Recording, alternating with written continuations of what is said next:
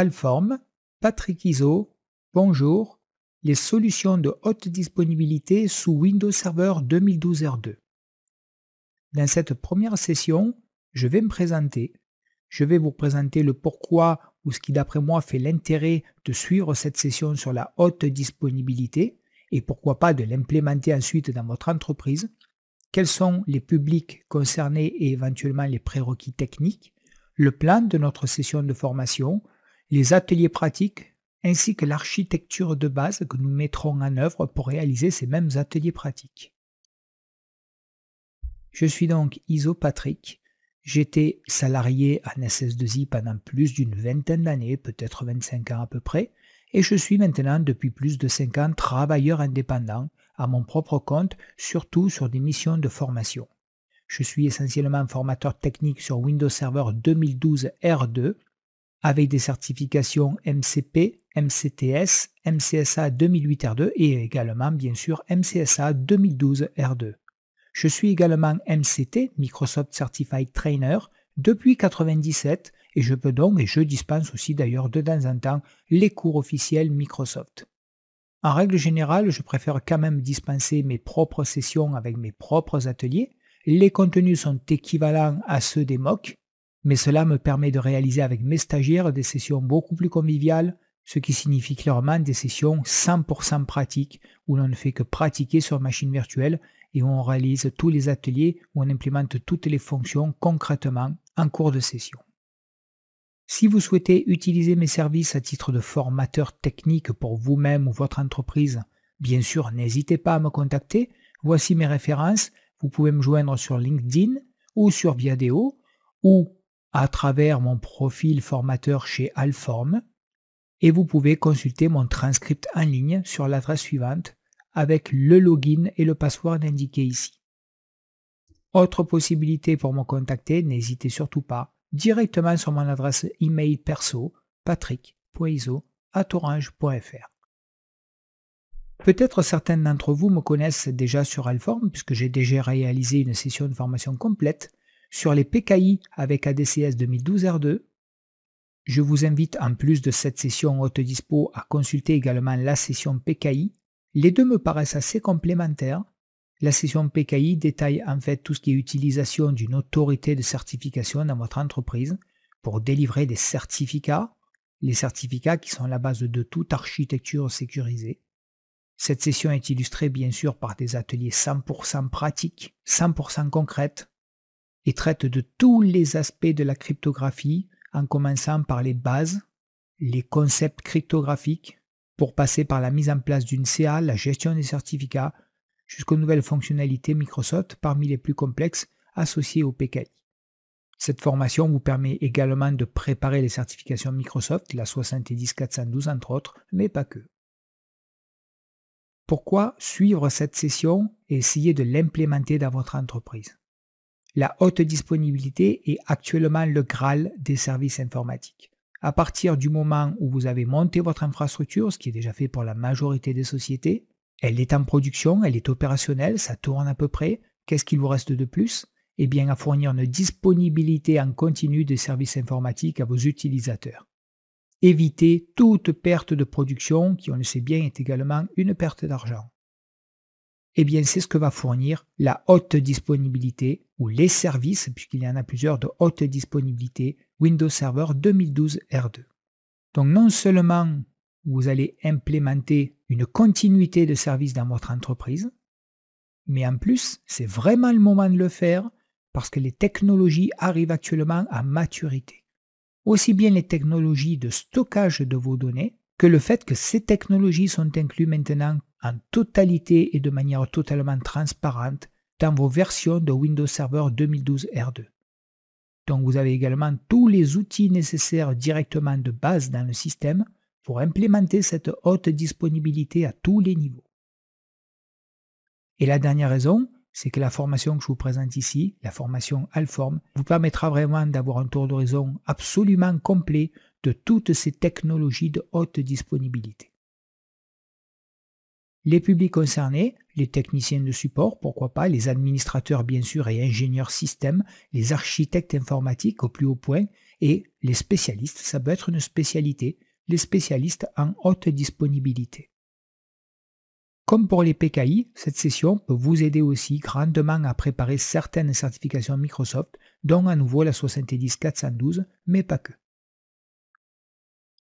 Les connaissances requises, disons des connaissances de base minimales sur les systèmes d'exploitation Windows, sur le fonctionnement des réseaux IP, quelques connaissances de base aussi minimales sur la gestion et l'implémentation d'une Active Directory, pas de prérequis par contre sur les technologies de stockage que nous aborderons ensemble dans notre formation Alform. Pour une préparation ludique, simple et efficace, je vous suggère de suivre la formation Alform Windows Server 2012 70410. Vous y trouverez tous les prérequis nécessaires au suivi de notre formation haute disponibilité, une formation sympathique et efficace animée par Fabrice Sforza. Dans cette formation Alform, nous allons d'abord aborder la présentation, nous y sommes, et puis nous verrons les nouveautés réseau à tolérance de panne. Qu'est-ce qu'il y a de nouveau côté réseau concernant la tolérance de panne? D'abord tout ce qui est association de cartes réseau, que l'on appelle le NIC Teaming, une nouveauté importante des OS 2012.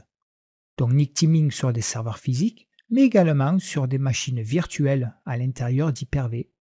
Et ensuite nous aborderons une autre nouveauté de 2012-2012 R2, les fonctionnalités de haute disponibilité et tolérance de panne sur le service DHCP. Nous parlerons également de tout ce qui est équilibrage de la charge réseau, la technologie de base qui est le tourniquet Rand Robin DNS, mais également, nous verrons en détail, l'équilibrage de charge NLB, le Network Load Balancing. Tous les modes NLB, en fait, nous aurons une présentation très complète du NLB, le NLB actif-passif, les règles de port sur NLB, les clusters NLB actifs-actifs et les modes d'opération de vos clusters NLB. Nous aborderons ensuite la haute disponibilité des données et du stockage, sujet important aussi. Pour les données et systèmes de fichiers, nous verrons le système DFS, en autonome mais également distribué en domaine, comment l'implémenter, comment l'optimiser? Le DFS vous fournira une tolérance de panne sur vos serveurs de fichiers sans mise en œuvre de cluster et puis nous parlerons ici d'espace de stockage, d'accès aux espaces de stockage et de duplication de données pour récupérer de l'espace sur vos serveurs. En module 5, nous aborderons un point relativement important pour la haute disponibilité, les fonctions de clustering avec basculement. Nous verrons en fait comment monter de A à Z un cluster sous Windows 2012 R2, en abordant tous les points nécessaires à gérer pour créer ce cluster, l'implémentation de son stockage en ISCSI, la redondance au niveau de l'architecture réseau à l'aide de MPIO, l'architecture du réseau Arbit, l'installation ensuite du cluster de basculement lui-même, la mise à jour des nœuds avec une nouvelle fonctionnalité qui est la mise à jour adaptée au cluster, et puis comment implémenter des rôles applicatifs, c'est-à-dire des services ou des applications qui vont bénéficier à l'intérieur de votre cluster de la haute disponibilité. Et nous passerons également sur des points encore plus techniques comme la gestion du quorum d'un cluster, les nouveautés sur le quorum avec le quorum et les témoins dynamiques, nouveautés 2012 et 2012 R2, et nous terminerons par un tour d'horizon des technologies de sauvegarde et de restauration du rôle d'un cluster. En dernière étape, mais là aussi pas la moindre, nous verrons comment appliquer ce que nous avons appris sur l'implémentation d'un cluster pour mettre en cluster un rôle très particulier, le rôle Hyper-V. Ça signifie concrètement que nous mettrons en cluster des machines virtuelles. dont nous implémenterons un cluster ici de machines virtuelles Hyper-V et nous verrons la nouvelle architecture de mise en cluster des machines Hyper-V avec un stockage de ces machines dans un partage SMB V3. Nous aurons parlé juste avant de deux autres nouveautés 2012 et 2012 R2 et pas des moindres, les migrations dynamiques, la possibilité de migrer dynamiquement à chaud une VM entre serveurs Hyper-V, et les PRA, les plans de reprise d'activité, qui vous permettent de cloner votre environnement virtuel de production et en cas de crash, en cas de perte complète de votre environnement virtuel de production, de basculer sur un environnement de secours le plus rapidement et le plus fiablement possible. Et j'aurai ensuite le plaisir de conclure la formation. Beaucoup d'ateliers dans cette formation, comme d'habitude, Pour chaque atelier, je vous mettrai une copie d'écran avec l'architecture de l'atelier et je vous présenterai bien sûr cette architecture. Un exemple d'atelier, nous aurons des ateliers sur les pôles de stockage, sur les stockages ISCSI, sur l'implémentation de clusters de basculement, sur la mise en cluster de machines virtuelles et beaucoup d'autres. Je vous présenterai donc avant chacun de ces ateliers pratiques son architecture à travers un schéma concret. Pour reproduire les ateliers, vous pouvez télécharger les sources d'installation d'abord de la version 8.1 pour les clients, 8.1 version entreprise. Elle est disponible gratuitement sur le lien Microsoft indiqué ici. Et vous pourrez aussi aller chercher bien sûr la même version mais pour les serveurs 2012-2012 R2, disponible directement chez Microsoft. Donc n'hésitez pas à créer votre propre environnement de test. Vous montez simplement un Hyper-V, vous créez vos machines virtuelles, vous installez vos serveurs et vos clients et vous pourrez facilement reproduire la totalité des ateliers que nous verrons ensemble dans cette session. N'oubliez pas aussi toutes les autres formations Windows touchant de près ou de loin à 2012 R2, le RDS 2012 R2, le Core 2012 R2, les configurations de services avancés, qui fait partie d'ailleurs de la très bonne série préparant aux examens 410, 411 et 412 de Microsoft, et encore bien et bien d'autres sessions de formation sur beaucoup d'autres sujets sur alform.com. Voilà, c'est OK pour la présentation du formateur. Pour le pourquoi de la haute disponibilité, je pense que vous en voyez déjà l'importance. Les prérequis de cette formation, vous pouvez vous y préparer assez facilement. Et le contenu, essentiellement un minimum de théorie et un maximum d'ateliers pratiques. C'est parti